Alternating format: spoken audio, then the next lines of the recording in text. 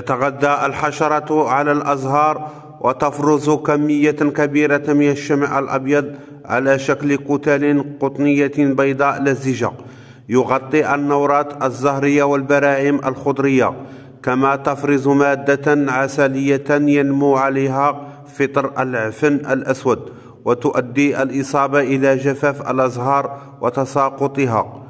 للمزيد من المعلومات حول هذه الحشرة سأترك لكم تعليقا مثبتا لرابط الفيديو وشكرا جزيلا لكم.